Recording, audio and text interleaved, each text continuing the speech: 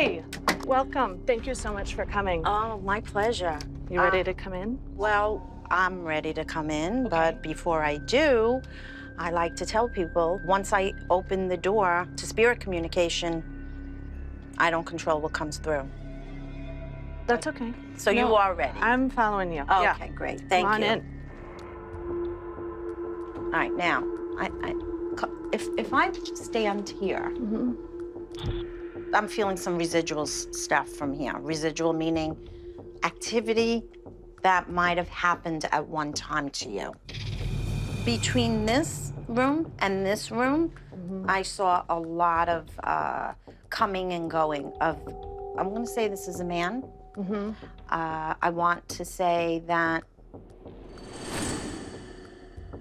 this is going to sound strange. He's a gay man.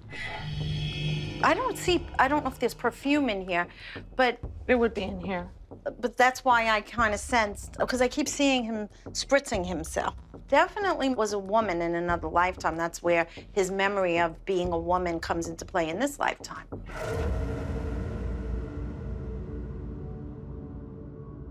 You know Kitty that would come over here, Yeah. and you gave him some of your clothes to wear. He was a cross dresser. Oh yeah. He he was um a, well, I mean a cross dresser. He, he actually had a sex change and I did help him out a lot. I didn't make the connection when you first said that because I've not known him to have passed. So He also says that he has had some deep conversations with you about life yeah. and about relationships. Yeah. But as I stand here, he's right here. This man was killed, like by people that persecute him for liking to be dressing up as a woman. So That's too bad. That's awful. It is bad, and it's not. It looks like I'm. I am in some kind of desert area, like Las Vegas or Nevada, somewhere in that area. Uh, possibly New Mexico, Arizona. Very dry, desert-like climate. Went to Nevada, Oh, okay. and now they haven't heard from him for a month. But when? How many years ago was that? Seven, eight, nine.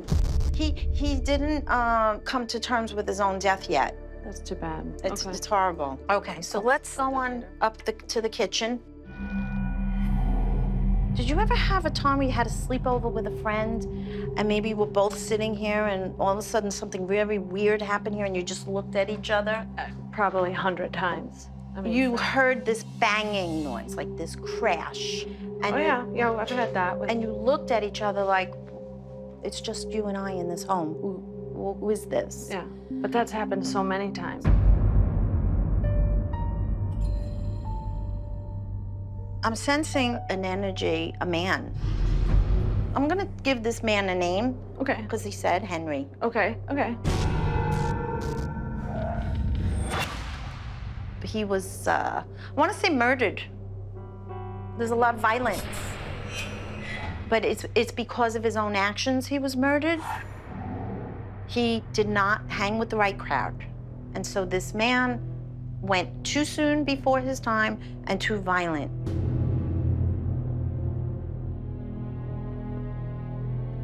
So he needed to hang around and find an outlet. And he found an outlet here. I'll tell you what's maybe some good news here. He doesn't live here anymore. Good. Okay. No offense, Henry. Your father have an initial L? hmm Yeah. It's a short name though, very like three letters. Yeah. Lee. There are times your, your father absorbed this man's anger. A lot of maybe your dad's moods were not really based on his own feelings and thoughts, but he was always protecting you.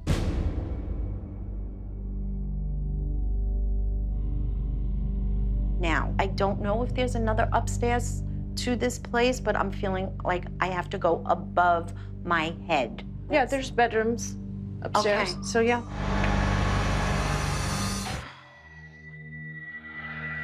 Not sure if you ever had a sleep with the covers over your head, but I'm getting like very scared being woken up out of your sleep.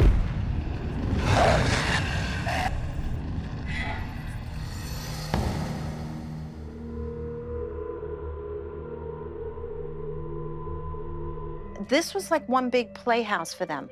Uh, there weren't too many boundaries and there weren't too many rules. And that is why I'm kind of sensing they might have been here. Mm -hmm. Some of them might not have even known they are dead.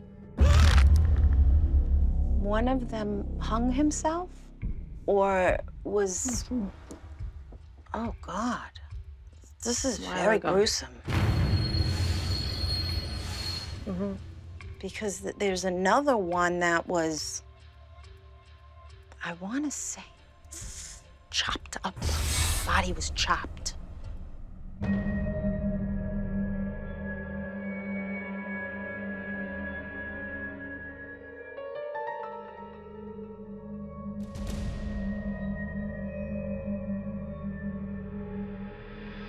You know someone who died like that? No, I don't know, but when I, you know, the times that I do see, sometimes it is just a lot of times shoulder down. And there was one time, one particular, I remember just seeing a face, not anything else. Slept with my mother. I was so freaked out. They would never pull that stuff on your mom. They, they were, they were, mom had a really harsh tone to her, like, don't mess with me. Just her demeanor, she's sweet as could be, mm-hmm. but they knew enough not to mess with her. yeah, that's could very well be true. Who's Kevin? Uh, I have a good friend named Kevin. He doesn't live here, but he was diagnosed with cancer. He's living. And I knew it before he called me, and I was here. And then the phone rang, and I said, oh, You're sick. And he goes, Oh. How did you, you know that? And I just said, I just knew it. And you were here in this I space? was in my room, yeah. There you go. It was one of those moments that you're like, Oh, you know, something else was going on. Right. I don't think that's a stretch at all. Okay. I would love to to find out when you come here, mm -hmm. where do you stay? Where do you where do you sleep when you come here? I sleep in the lower level. Let's Okay. go, Joe. We'll All go right, downstairs. Okay. This was my dad's area when he was alive. And I have some thoughts about this, and I'm curious to what you'll pick up on. All of a sudden, I can't breathe coming down here. The air is very thick.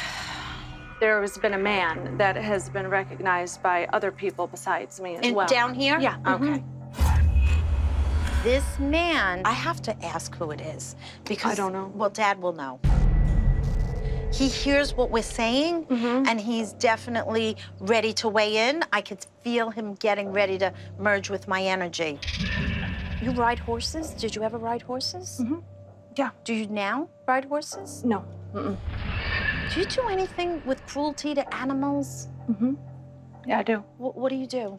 I mean, what? well, what does I this do a lot of uh, equine rescue and, anim- and dogs as well. The best way I could tell you is the man took care of the horses. That's what he did. I'm in a barn, I'm in a stable. He's brushing, he's grooming. I see him leading them out. I see him filling the bale, uh, you know, bales with food for the horses. This man with the horses is- is thanking you for what you do. Oh, okay. That's nice. He himself was an animal lover, but then he obviously died somewhere. Could have been. I may not have known him. I cannot get off Dad without him saying that what you've been experiencing is not a curse, but it is actually a gift. Being afraid of it has attracted all of these dark spirits that feed off that fear. Okay. That feeling makes sense to me when you say that. It's what you bring I with so. you. I agree with that. You bring them in. Some of them go, some of them return, some of, new ones come. A lot of them are men. Well, first of all, you're gorgeous, so I wouldn't doubt that even spirits want to follow you around. But I'm not quite sure men. that they are, right? Because I'm seeing a lot of men. I don't even know that I've seen a woman before. I only one, and it wasn't in the face to face. Right, right. So that's true. Basically, aside from those friends of mom's, I haven't really seen too many women here either. Right.